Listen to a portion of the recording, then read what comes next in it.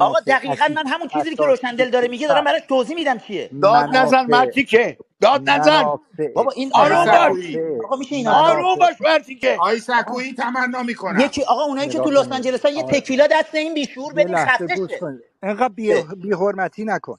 آقا بی حرمت نداره مرتی که خرکه ای مرتیکه بابا. جاکش آقا من تو آمدی تکیلا آقا نمی‌خورم. من آمدی لویی همون می‌کنم. کوفتی که می‌خوره رو گوش بهش بدید. کنید به من. گوش کنید یه لامصب. لحظه. همه مایکا رو ببندید.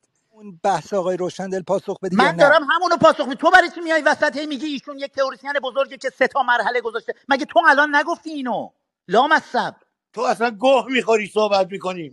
دیوس این باز خفه چیه گوه آقا بگه. من عذرخواهی می‌کنم. آقای سکویی بیشور چرا نمیندازی پایین به عذرخواهی می‌کنم. یه لحظه. آقای منظرپور خواهش می‌کنم در مورد نحوه صحبت های آقای سکویی هم یه تذکری بفرمایید تذکر الان متین داره؟ فوش ناجور میده چرا نمیندازینش بله بله بیشور بله. بسیار آقای سکویی من از شما خواهش می‌کنم لطفا افت کلام رو رعایت کنید. سکویی و افت کلام؟ خفه شو. خفه شو بزن ادمین به من میگه فصل کلام رو رعایت کن میگم شش تو گو بخور. آقا. خدا خواهش می‌کنم. آقای سکویی واقعا زشته به خدا. نمیشه که واقعا زشته وسط صحبت های یک کارشناس امور لا اله الا الله. حالا چه گرفتاری شدیم؟ این بابا یکی یه چیزی بده دستش. عجبا. آقای حالا سکویی تو رو خدا دیگه mic باز نکن. آقا که در تاریخ ما ما تا همینجا opposition ما بسیار گیج و منگه. چون بخش بزرگی از opposition ما که opposition میهن پرستی هم هستن شبا مشروب زیاد می‌خورن و این مشروب بعضی وقتا تا بعد از ظهر فردا هم همینجوری ردش تو کلهشون میمونه. حرفای حاشیه‌ای نزن. آقا جان حالا نه وسط دیگه. و برای همین نمی‌تونن پیدا کنن که گوه بیسی که زیادی نخور. گوه زیادی نخور. آقا می‌ذارم تو بخوری همشو. آقای تو تو آقای دکتر سکویی حالا آقای فخرآور. اوکی.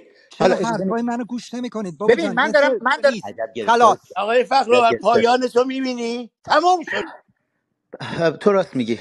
بچه ها لطفا بچه ها توی کامنت ها اون بک چنل رو باز کنید. من سری چیز بگم. آیا آقای سکویی آقای فخرآور شماها جناب منصرپور ببخشید من عذرخواهی می‌کنم. لطف بکنید اجازه بدید که ایشون به تنهایی انجام بده. اتفاقا منظرپور داره الان کار ایدئالی می‌کنه. بله برای همین عرض کردم که دیگه ماها مایکمون بسته تکیلای هر کوفتی که می‌خواست براش ببر بگو بشینه اونجا اصلا اون کارا آقای فخرآور جواب بدید. فرزانه این بحثای نمی‌دونم تکیلا و فلان ببینید خودتون دارین تحریف شما می‌کنین بعد نمی‌شناسین ایشون رو. بعد شما وقتی ایشون رو نمی‌شناسین یکی از مشکلات بزرگ بی آبرویی های opposition ما الان همین آدمه که وقتی مست می‌کنه دیگه حالیش بحث نیست اصلا به شما باز ربطی نداره. سوالی که هست. بقیه‌تون دارین دروغ میگین. تمامیت ارضی ممامیت ارضی برای شماها فقط یه بازیه. الناز یه موش به هزار تا تو میارزه. بعد دیگه پوفیوس ورود نکنید الناز وارد نکن. آقای سکویی ورود نکنید.